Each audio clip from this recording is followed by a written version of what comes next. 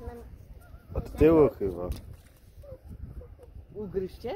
No, palec na paznokciu. Ci uciekli.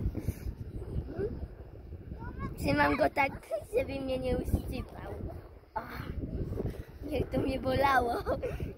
Gdzieś już się. Ja.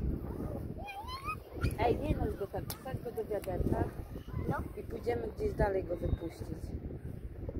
A jaki on jest sprytny ten krab. A to ta dziewczynka, co go złapała.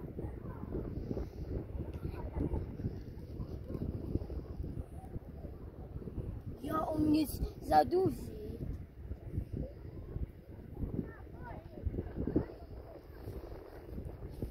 O, o, o, o.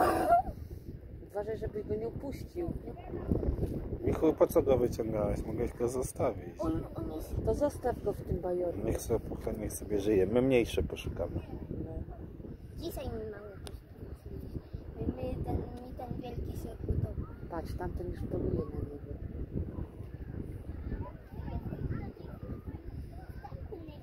Patrz, chodź Tomek, zobaczycie jaki wielki. No on mnie usypiał. Nie chcę, Dobra, zostawiasz go czy co? nie chcę, Tomek nie. Mikołaj, puść go tutaj, to on tu... Albo tutaj dobrze, bo on tu się w tym mule schowa. Tam będzie na widoku. Albo zobacz, użyć go tak, zacznie gdzie się schować.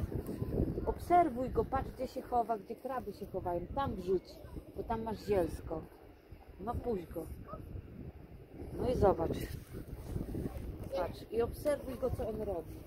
Tomcio, chodź poobserwować krabika. Patrz, patrz gdzie się chowa. Oli... Patrz, widzisz, idzie tam, pod ten, żeby go nie było widać.